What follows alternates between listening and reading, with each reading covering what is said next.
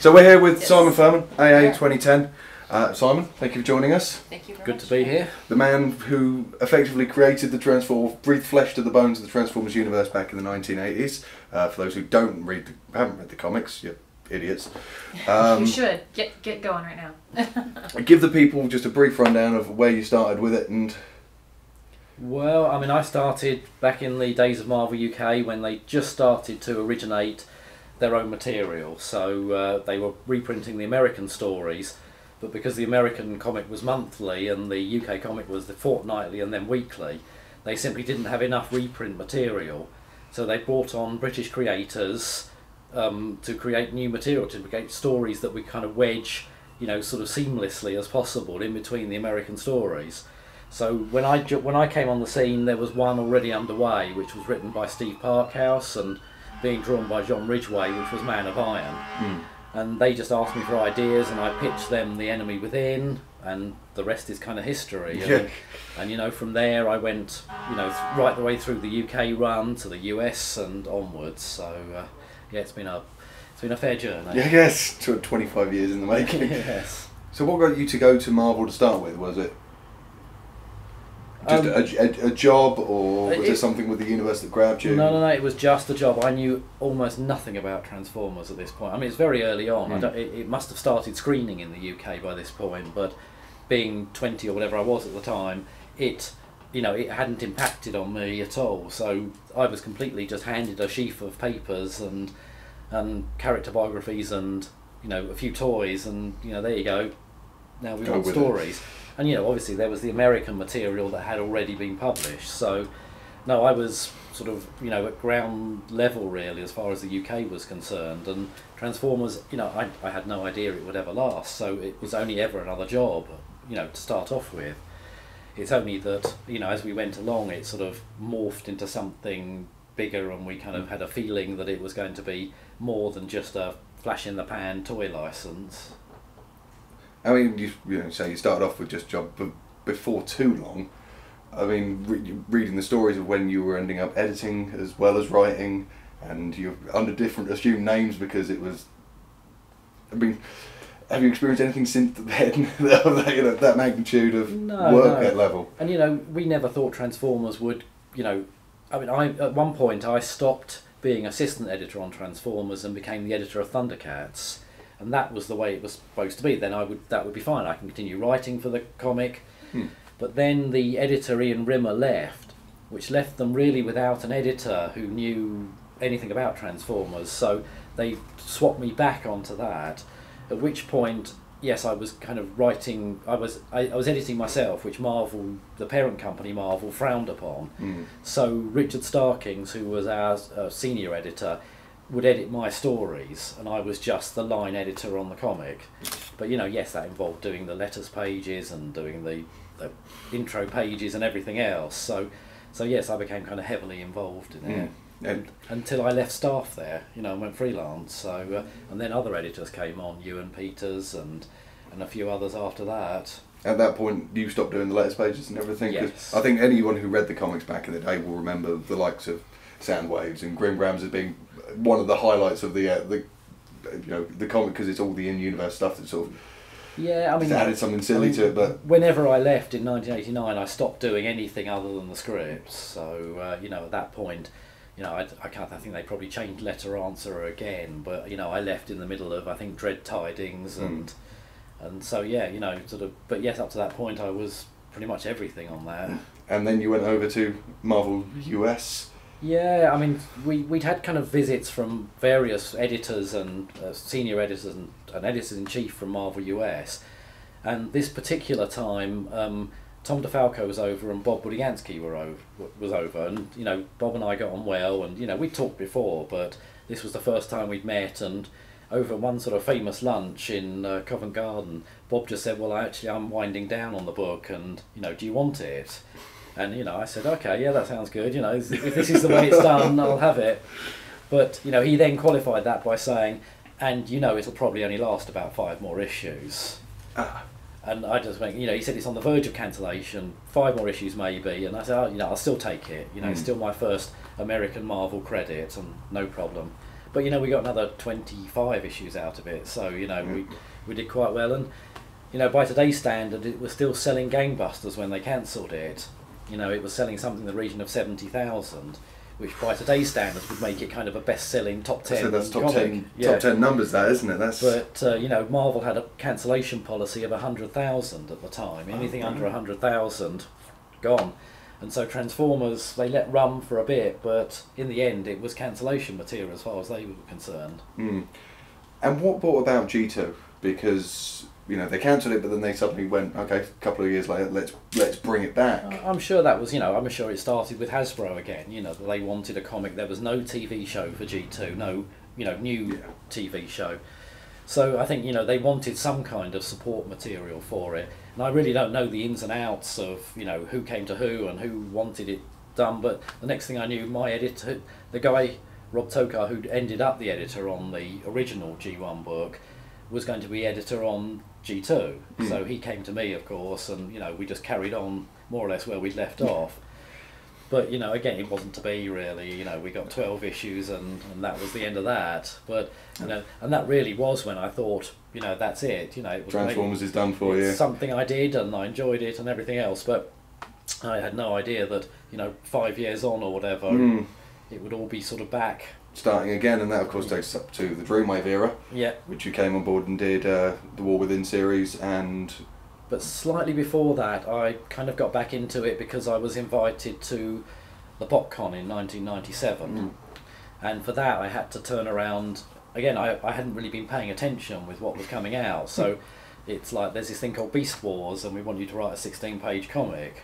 oh right, no pressure then. So, you know, so I kind of had to do a definite crash course on what Beast Wars was, and they had their exclusive toys that they wanted in it. So that was actually my first reintroduction to Transformers, and it was at that convention that I met Bob Forward, who, you know, eight months on, started talking to me seriously about doing an episode of the cartoon series, and then the kind of next step, even before Dreamwave again, was that I was working. I was doing some editorial stuff for Titan Books in the UK, Mm. and you know Titan are a big publisher of graphic novels and collected editions, and I pitched to them the idea of collecting the Marvel American US comic material. And so, you know, we managed to secure that license, which was for the world, just before the Dreamwave thing kicked in, and suddenly it was very popular Yeah. again. So, you know, for a good while, Titan had exclusive world rights on all the previous comic material. And they pretty much were able to reprint everything as well, weren't we they? We did, yeah, and we talked to Marvel and got got their okay to use the Death's Head ones, and and you know, and it and because again, Transformers wasn't particularly back in any big way, but at this point, neither Marvel nor uh, Hasbro had any much kind of investment in it. So you know, the idea of you know running everything didn't bother anybody at the time. So yeah, we were quite lucky, and even to the extent where we paid Marvel a little bit of money just so we could run the one-page Death's Head story that you know we'd used to copyright him back in the day. Mm. So you know, it was all very amicable, and I think only later, once the Dreamwave, you know, bubble was at its as biggest, did everybody start to kind of clamp down on you know what could be done by who and in Yeah. what territory. So uh, Because the recent reprints, of course, have lost all the Spider-Man is- issues, Yes. Death's Head issues, yeah, the um, Circuit circuit, Breaker, breaker, issues, yeah. you know, which is a good chunk of the story, yeah, definitely. especially the ending to it as well. Which Yeah. is kind of kind of key. yeah, Um, so we came we came up to Dreamwave, and we, uh, just to go back. You actually just mentioned Death's Head there, and obviously we're probably never going to see a Death's Head official new series or back in Transformers. yeah. He was back recently. He was in a thing called Sword Mm. as a guest star in his giant-sized form. So you know, he's around. You they, know. they, they still haven't completely. No, no, no, and you know, I think you know, I don't, you know, unfortunately they canned Sword after five issues, which was a great shame. But uh, nevertheless, you know, he's back, and I think you know, there's always the potential. He's still a Marvel character, and if I can get the right editor interested, you know, it'd be great to do some more. Mm. And I mean, in the UK comics, you created a lot of characters that weren't toys or weren't obviously put by Hasbro. Did you, you know, explicitly go to make a character that hasn't got a toy out there? You just went, I would need this character, so I'm going to make Straxus, for example, or Um, I mean, rather than use one of the existing. sometimes we just wanted a character that it, we could do whatever we wanted with. So it, you know, you weren't tied by the fact that it was a toy and Hasbro might object to you killing it off or you know whatever. We just needed some characters that felt like they were unique to us. But Death's Head was a strange one because Death's Head came was just a happy accident. We we really you know I wrote this I wrote issue one one three or whichever it was and and you know all it called for was a sort of fairly generic badass bounty hunter character who was going to be in and out of that story quite quickly and killed off. But when I saw Geoff's art for the character, Mm. I just thought, oh no no no, maybe maybe, maybe, we can, maybe we can do more with this. So I kind of rewrote a lot of the, the script. So we gave him his mannerisms and dial and dialogue ticks and everything Mm. else. And um, and yeah, you know, from that it just grew and grew, and suddenly, you know, it was like this mad rush to produce a one-page strip, so that you know we could technically copyright it Marvel. So, uh, so yeah, it all sort of changed on the fly, really, with Death's Head. And with that stuff that you created back then, that say didn't have a toy at the time, did you ever think twenty years later you'd be getting a Dark Mount or Straxus toy? And the fact that you've got characters like Macabre in Squadron X, and of course Impactor and Wreckers. Yeah, no, no, no. I mean, you know, that in, still at that point, I don't think I had any idea that anything we'd done carried much weight currently. You know, my Mm. first BotCon was a revelation because it was here were people who knew my stories far better than I did at the time. you know, the first BotCon was a bit of a nightmare because the question and answer thing, I was kind of, I don't know, I don't remember that actually, Mm. and you know, and I didn't. And so, you know, by the next time, I'd made sure I'd reread everything and uh, and kind of just re-immerse myself in it because it was done really, Mm. and I never thought it would come back, and we never sort of really saw the Dreamwave thing coming of just making it not just back in comics but a kind of huge success or Yeah, you know, in terms of sales.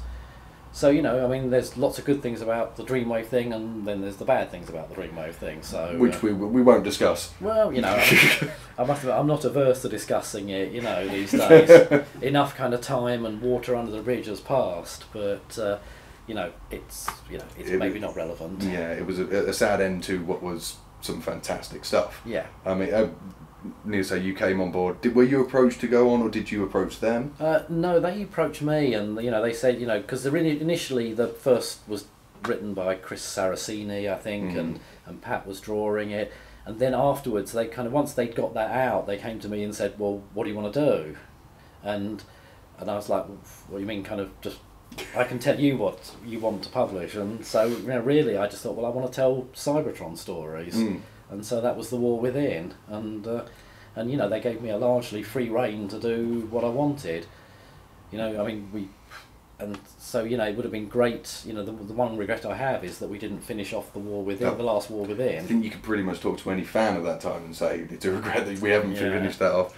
And again, you then went straight on to creating new characters, the Fallen, Yep. um, who has of course since been in the movie, Yep. for better or for worse. um, but you then went on to Armada, the Armada comic, Yep. and without pulling punches, turned it from terrible to a damn good read. Well, I mean, I've always thought that, you know, I, I, I kind of like a challenge sometimes. You know, G1, you know, you're, you're on a sort of fairly sort of even wicket with that. Mm. And, you know, you, you, you have to do a lot wrong to do wrong. But with Armada, you know, I could see they'd approached it like the cartoon, which was quite kiddie and quite basic. And, and I just thought, oh, no, to hell with that. You know, I'm just going to sort of do what I want. And, uh, and you know, we got a, you know, I, I was very pleased with Armada and Energon. And again, you know, especially with Energon, we again we were flying with our, with the kind of story we had we were telling, and and it was a shame that those issues, the next clutch of issues, were I'd seen a lot of the well, I mean obviously I'd written them, but you know I'd seen a lot of the art for it, and Alex's stuff was just coming Mm. on leaps and bounds at that point, so.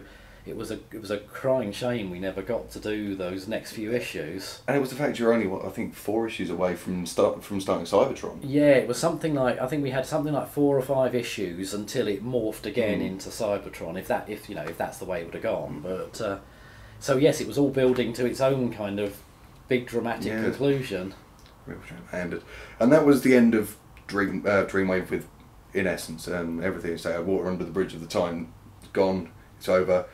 Then we had the the lull period. Again, did you think that's it? Transformers No, no, no. That- never not- thought it was going to go. In, fa- in fact, that time, you know, it was it was evident that somebody else was going to pick it up straight away, um, and you know, I don't think there was any doubt it somebody would have had it. You Mm. know, I mean, there were too many publishers interested in picking up that license after Dreamwave went for it not to have happened. So, Especially with the numbers that Dreamwave pulled out that first series or two. and, and you know, really very quickly after Dreamwave had gone, you know, talk. You know, I was talking with IDW about, you know, what became infiltration. Mm. So. And again, IDW, can we get onto that straight away? Were you going to them and saying once you heard they had the license, or did they come No, speak they, to you? again, they were very much came to me, and what I liked was they came to me and said, "Look, you know, we we looks looks on the cards, we've got this license. What do you recommend we do?" So you know, it was quite nice that they kind of said, "Well," and I, and we had two choices. We either did a kind of the first thing I pitched was a kind of crisis on multiple Cybertrons where we just get rid of all the Tangle continuity and just boil it down into one core thing that we would then carry on with. But that was judged and probably rightly maybe too confusing and off-putting for new people Mm. trying to because they really wanted to kind of bring a newer audience in as well. And um, so we decided just to reset and restart everything, but in a kind of more ultimate way. You know, I Mm. mean, our model really was the kind of ultimate Marvel line of of of not sort of just filling each issue with you know battle upon battle and everything else, but kind of telling it at a more sort of leisurely pace, if you like, and and try and do it in a vaguely real world sense of how it might be if you know Mm. giant alien robots were on our planet. You know, and and the reasons for why. You know, we didn't want to rehash the whole Ark crash landing four million years thing. So it was it was well okay why are they on this planet and that was where you know we started to come up with all the rationale of these kind of secret invasions Mm. and the sort of Autobot response to those.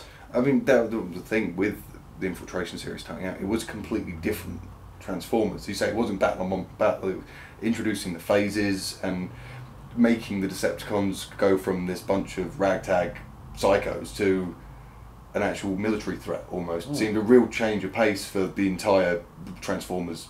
Yeah, and you know, and Universe, you know, I mean, it was met with kind of very mixed reactions. I think you know, a lot of people found the pace too kind of slow. I mean, I even heard the word glacial at times. You know, but you know, I mean, we were determined to kind of play that out properly. So the kind of response to the negative we were getting was Stormbringer. Mm. which you know we thought well okay if there's not enough robots in each issue and we take the point there that you know sort of we are really were phasing in the characters slowly over the course of the first six issues you know prime doesn't turn up till issue six No. so um, you know we that was kind of the response that we took on board was to turn around and go well let's set one on cybertron and give you all the robots you want and all the fighting you want Yeah, so four issues of hell breaking loose. Yes, exactly. And so, you know, and it was great. I thought, oh, well, there you go. You know, I can reuse Thunderwing and bring him back and we'll have Bludgeon somewhere in the mix. And, you know, it was great. You know, I mean, it was one of those happy things, you know, where, you know, the, the, fan, the fan feedback was actually quite positive because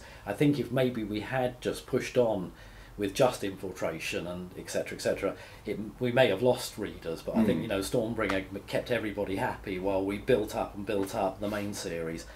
And then you know we you know we came upon the idea of doing the spotlights which added yet another dimension in kind of digestible bits that people could read or don't have to read but have some kind of payoff in what's happening in infiltration escalation You get more out of it for reading them, but as you say, the story still tells itself without Yeah. having to have them there.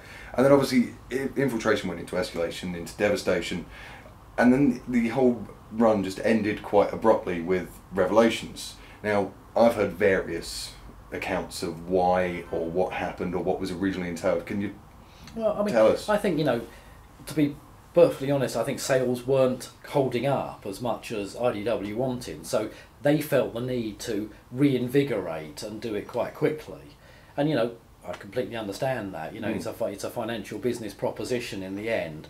So you know, they wanted to do All Hell Megatron, which was completely their prerogative, and you know, however, what I felt about the execution, it was you know that's they saw that as a kind of rebooting it and getting sales back up, and Mm. that's fine. So yeah, you know, they asked me to conven- condense what had been intended as two mini-series more or less into one, and then it became four spotlights, and so you know, it kind of got crammed a bit. But you know, I got to do Maximum Dinobots, so I was very happy at the time. You know, I got to do my, that story in quite the way it was supposed to finish. So you know, maximum Dinobots had kind of everything I needed, but Revelation was a little bit on the cramped side, which was Mm. a shame, you know, because we just had to conclude the whole Dead Universe storyline, which would have gone on into, into expansion in Mm. one hit. Which, you say with the amount that you built up of 18 issues plus all the spotlights isn't easy to do. I Yeah. Um, and then, of course, you then came off Generation 1 Yep. and into Titan movie books, Yep. um, which have been some fantastic stories, I have to say, in there. Um, I agree. from, from the first movie, the best stuff they that was produced for the first movie, and now you're back currently doing Nefarious, Yep. and that finishes the end of this month, I believe. I think issue six is out. Yes, soon. Anyway, Next yes. week. Yeah. Uh, Next. Yeah. So yes, so and that's been great fun and, and strangely, even though I'm not the big world's biggest fan of the movies themselves, you know, I just don't think I'm the target audience for them. So, you know, I mean, that, and that's fair dues. You can't argue with seven hundred million dollars at the box office worldwide. So, you know, whatever the case, whatever we might think about them, you know, they make money in Hollywood, and that's what matters. Yes, and, and that's why they'll keep being Hmm. the same. But you know, that said, I kind of like the idea of, of taking that universe and trying to tell a more sort of I don't know, slightly grown up, character led story in it. And so that was where Nefarious came out of. Nice. And with Nefarious, I mean, we're reading it at the moment, reviewing it at the moment, and it's getting stronger and stronger with every issue. I have to say, it's I'm actually looking forward to issue six, and I'm not a big fan of the movie myself.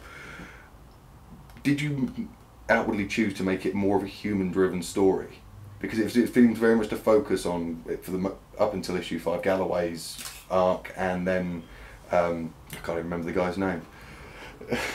Carter Newell. God, was- yeah. um, and his journey through it, rather and have the the Transformers as almost a a separate sto- part of the story. And Yeah, I mean, I hope it's a balance. I hope it's not too human led. I mean, but, you know, the vibe of the movies is very much, you know, it's happening on Earth, so there are humans involved hmm. in this. And, you know, I wanted to kind of show a storyline where the humans weren't slightly just sort of played for almost comedy value. You know, Sector 7, I felt they kind of, you know, just turned them into a sort of, you know, a comedy sort of, you know, joke almost, you know, you know, however, you know, I'm sure it, again, it plays well with the audience, but I just thought, well, there's no credible human threat, and I just felt that, you know, I really would like to create one that feels like, you know, they are they are not they are out of control the transformers for once that you know autobots and decepticons none of them really have as much of a grasp on what is going on as they think even Hmm. soundwave who's this guy who thinks he knows absolutely everything that's going on you know is taken completely out of his comfort zone because for once he doesn't know what's going on and and that kind of hurts him far more than any kind of Yeah. you know violent stuff that happens to him. So you know, I mean, I wanted and I wanted to play with Soundwave. I thought, you know, he's the kind of Decepticon they've left. I didn't want to use Megatron because that would inevitably impact on you know movie three and would be difficult. And Starscream likewise, and both of them had kind of been used a lot. So Mm. it was great to kind of again take a character that was had a scene in the in Revenge of the Fallen, I think, and you know, yeah, pretty much. and a little Just computer barely. voice, yeah Yeah. and you know to again sort of turn it into a, a movie version of the Soundwave we all know and love. With his mini militia of Yes, of exactly. Insecticons, Yeah. which And being in charge of all the information that he can find. And you know, and also just to make him, you know, not just a guy who goes out and hits things, but is much more manipulative and is almost kind of conquering the planet in, in secret. Is his, you know, just information is power. Is Mm. kind of, you know, his watchword and. You know, so whereas Megatron made a colossal hash, hash of it, he's kind of quietly doing a good job. yeah, So you know, it was just great fun, and I hope there's enough, you know, Transformer character stuff as well as human arc and development. But you know, I wanted to play off the Galloway thing. I thought that was one of the interesting things they had in the second movie that again just didn't really go anywhere. yeah, Um, and I, you know, I thought, you know, so that's you know that's one level, but I wanted the Autobots and Decepticons again to kind of real to appreciate mankind as a credible threat, whereas they clearly haven't up to this point. no, and you've you've made mankind a credible threat because you've um, we discussed it. The introduction of almost the layers of it that, that you have the Decepticons who are able to go and wipe out unprepared humans, Mm. but a prepared human can take them apart. Yeah, and you know, and I wanted to tie it into their whole sort of mythos of of seekers and things like Mm. that, and give it a whole history. Because you know, I always felt that you know the machination in in G one worked because again it was a transformer behind it, and they'd had a lot of time and preparation to get that good, and I wanted there to be a long time for this guy to have got good at understanding transformer technology and, and how to defeat it and control it and everything else. So, you know, I wanted to kind of embed it right in the sort of the whole Seeker storyline Mm. that, you know, has been established in the movies and in the uh, Tales of the Fallen comics. So, you know, you have this sort of head in a box, which was unfortunately a wee bit like the machination, but, you know, he is kind of one of the Seekers Mm. and you know and it's just great to be able to kind of show a couple of those seekers you've never seen before and uh, you know and i think there's a little scene in six one of them where we see the oh we might have already seen the flashback to the kind of crash i don't know anyway but there's you know you Spoiler actually alert. yes you actually you actually see these these seekers and you understand what happened to the seekers a little bit in this gulf of time where Mm. they obviously weren't finding what they were supposed to find so anyway you know but it was it was just fun to do and i really enjoyed it When you pitched it to IDW, how much did you have to speak to Hasbro or to movie studio, or how much did you have to take into account that you couldn't affect affect you know the third movie? Um, I think you know because nobody even then, I probably even the movie makers didn't know what the third movie was going to be. You know, I think you know it was staying away from the the main iconic villains that Mm. was probably going to be the thing because Megatron kind of disappears at the end of the the second movie and we don't really know what state he's in and and it was just staying away from anything that you looked like they were going to pick up on and Soundwave you had a distinct feeling they weren't going to say well suddenly Soundwave's this or that I think he'll probably always just be a kind of satellite or something and He's actually been in the, the Chicago shoot. They had the heads on the poles for the actors and Soundwave's there. oh is he Yes. oh there you go so you know maybe they've kind of taken a cue from Nefarious you know I mean If, if he's got a little rhino running around with yes him, I think we'll all be pleased. yeah That would be cool. That would be very cool. Um, and b- before we go b- back and speak about the individual comics, what's next for Simon Furman, especially in regards to Transformers, because people want to know. Well, I mean, strangely, I'm not doing an awful lot of Transformers at the moment, you know, and and that's kind of good in one way because I'm, you know, my career is going in slightly different directions. But you know, I always want to be attached to Transformers, and so you know, I'm continuing doing the UK stories. I've just finished a five-part story for Takara and Million Publishing in Japan, which will appear in the toys initially that they release over there, their movie toys, and then Million Publishing will gather it all together in one of their sort of generations magazines. Mm-hmm. And you know, so it's it's basically forty pages of, of movie continuity story that you know Guido Guidi drew, and it looks amazing. You know, the colouring is is out of this world, and you know, I really can't wait to see it all published now. Are we going to get a translation over here? well, I hope that when Million Publishing print it, they'll do what they did with my little two-pager I did for them for uh, Generations Three. They, they, Mm. I did one of their little two-pagers with Skids and Screech, which are the, the little two-pack. And uh, with that, they published a translation in the back of that issue. Oh, So you know, it's in, in full size. It's in Japanese, but at the back they've got a little sort of mini version of it with the English Excellent. in the loop. So I hope they do that Yeah, again. hopefully, and hopefully Yeah. a bit easier to get the Generations books this side of the uh, the world. And then IDW, you know, I'm always talking to IDW about what we can do next, but in, strangely this time, it's almost been my time that's been limited, and, and my response to, you know, giving them what they need to kind of, you know, talk and further the next series, whatever that may be, has been slow. So, you know, there's a couple of things we've been talking about, sort of bubbling under at the moment that just need my attention and Andy Schmidt's attention, and we all need to talk. And you know, I'm hoping that you know for 2011 I'll have a couple more things for them. Hmm. But at the moment, I'm knee deep in a hundred-page StarCraft graphic novel, which is going to be published by Wildstorm. Um, and I'm working on a kids animated TV show called The Matt Hatter Chronicles, which is going to be coming out next year. And I've been, again, really heavily involved in that, both on the writing side and sort of script supervising as well, to get their kind of, you know, the whole sort of character stuff and everything consistent across the series. So that's taken up a lot of to my time, and you know, it's only now I'm starting to think, you know, I, I can, I've got some spare time to look at some of these pitches and Yeah. sort of ideas that have been idling a little bit.